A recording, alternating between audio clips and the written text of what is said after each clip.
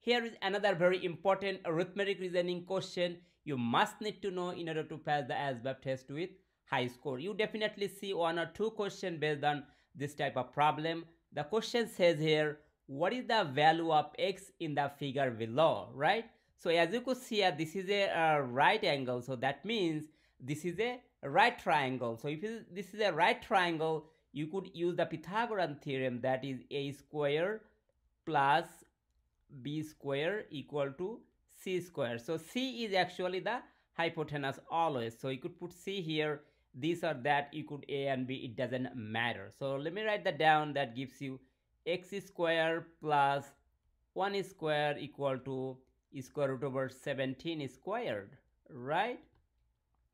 Now x squared plus 1 equal to 17. Now subtract both sides by 1 that gives you um, x squared equal to 16. Now if you simplify further, so that gives you x equal to square root over 16 who is equal to 4, right? With that, the correct answer is option A.